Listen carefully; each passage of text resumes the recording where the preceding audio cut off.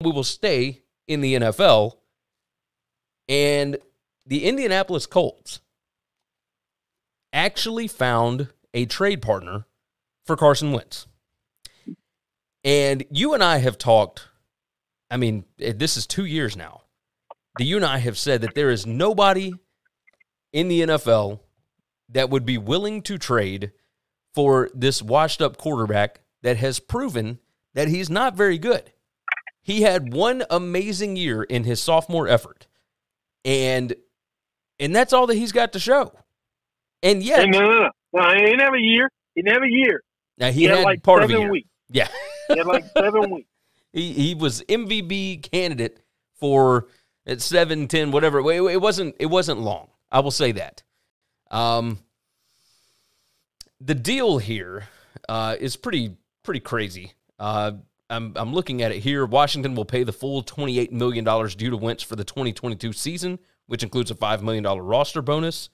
Uh, the Colts will receive the Washington Commanders' third round picks in 2022 and 2023. The 2023 third rounder can become a second round selection if Wentz plays 70% of Washington snaps.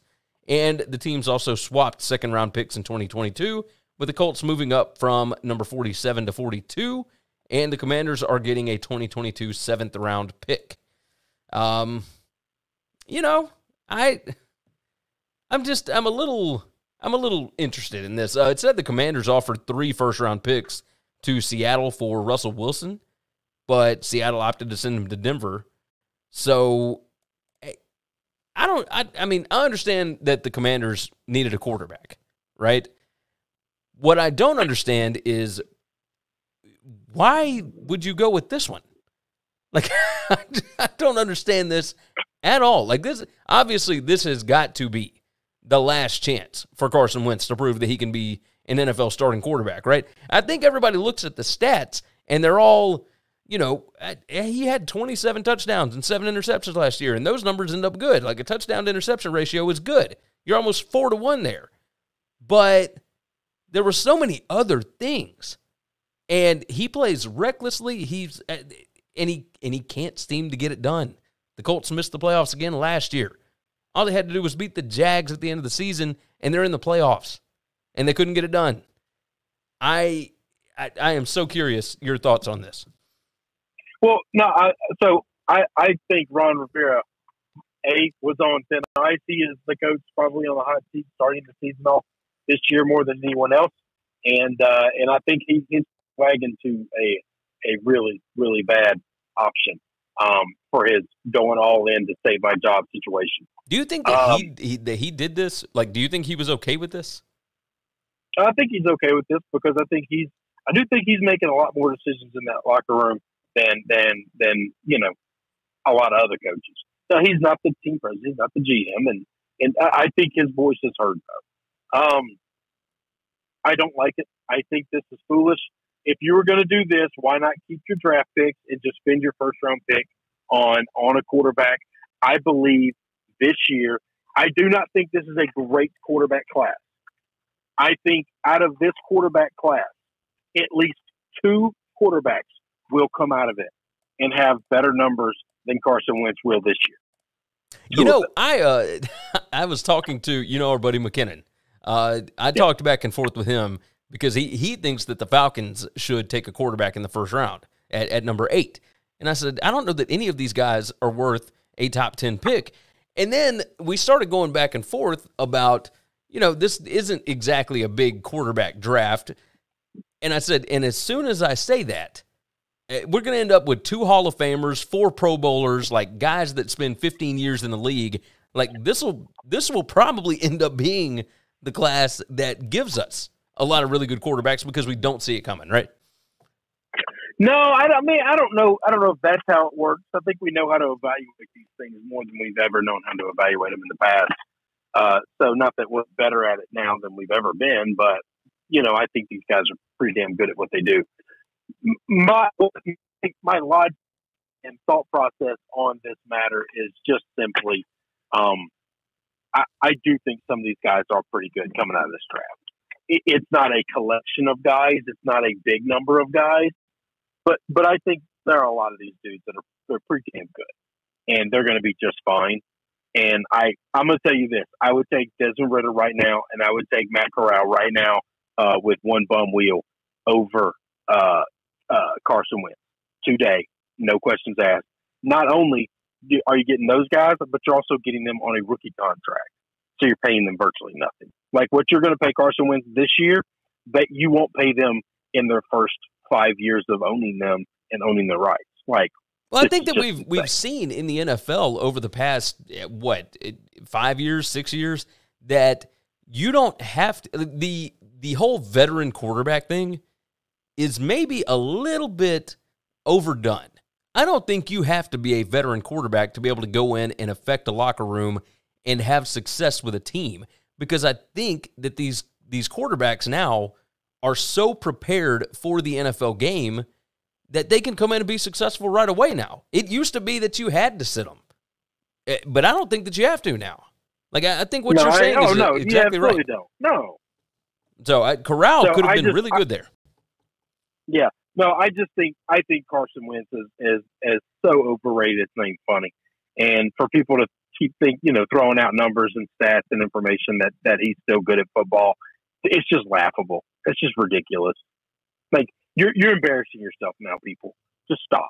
Just I mean, stop. the, the why, fact that why Indianapolis, you're so why people are so heavily invested in Car in thinking Carson Wentz is good. I guess maybe they said he was good when he was you know going to be a rookie or whatever, and and and I said he was shitty, and so maybe I'm heavily invested the other way of just seeing that we all want the thing that we said five years ago to be true, but but we now know. Like it doesn't matter what you said or what you thought. We we have enough data. We have enough evidence now. We know the answer. Yeah, and that's the thing is we people were always when it came to Carson Wentz, it was well Frank Reich left and Doug Pederson didn't know how to get the good out of him, right? Well, then he went back to Reich, and and once he did that, and he still wasn't able to be successful.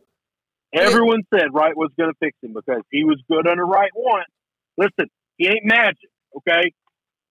Yeah, and now you're going to uh, Washington, who owns the NFL's worst total QBR since the 2018 season, and its 71 touchdown passes in that span also ranks 32nd. And that it's a big reason why they've gone 24 and 41 since the beginning of the 2018 season. I mean, they just they, see, they're not good.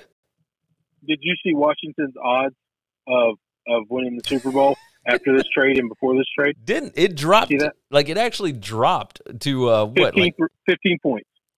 it was they, like they were they were 10, 60, they were sixty to one.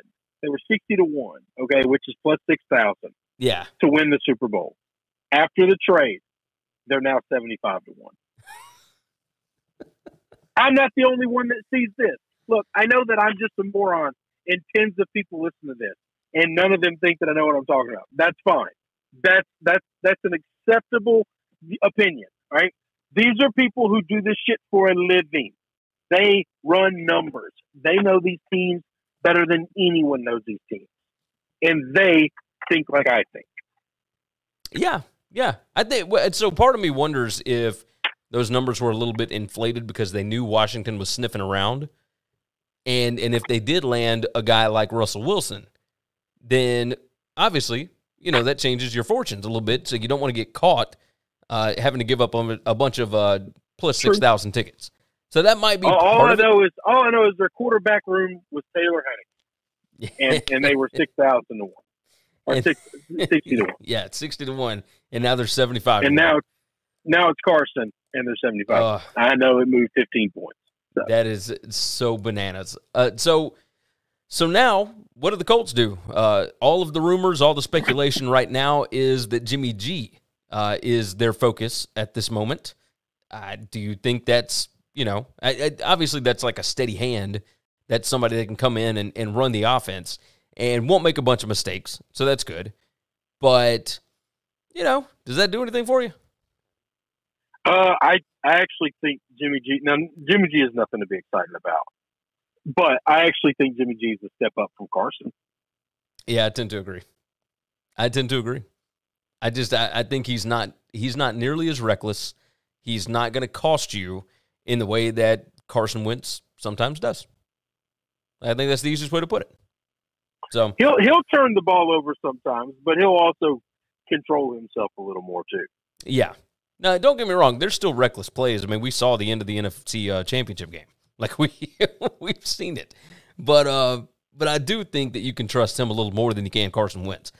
Thanks for listening to the Winning Cures Everything podcast. The website is winningcureseverything.com, and if you want to connect with us, we're on Twitter at Gary WCE, at Chris B. Giannini, at Winning Cures, or you can email us, Gary at winningcureseverything.com or Chris at winningcureseverything.com. Subscribe everywhere you need to subscribe, and we'll see you soon.